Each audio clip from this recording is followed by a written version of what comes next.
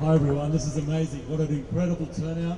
Uh, I'd love to see everybody here tomorrow as well. This is uh, really heartwarming and uh, yeah, really gives us a lot, uh, inspires us to keep going as Julian's family. As, as uh, John just said, uh, last week the entire Australian Parliament voted on a motion, a motion in the Australian Parliament that two-thirds of the parliamentarians uh, voted in favour of, including the government, including all the cabinet ministers, defence ministers, and all of the crossbench.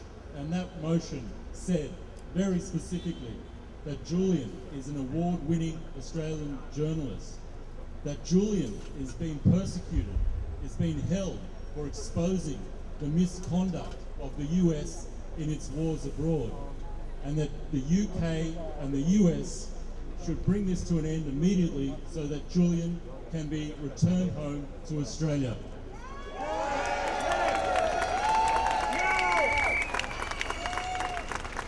This case, this treatment and this case, this persecution of Julian has made the UK and the US an embarrassment on the world stage. It is their shame. And they can bring it to an end simply by letting Julian go and re-establishing themselves as human rights advocates that can be powerful around the world. So free, free Julian Assange.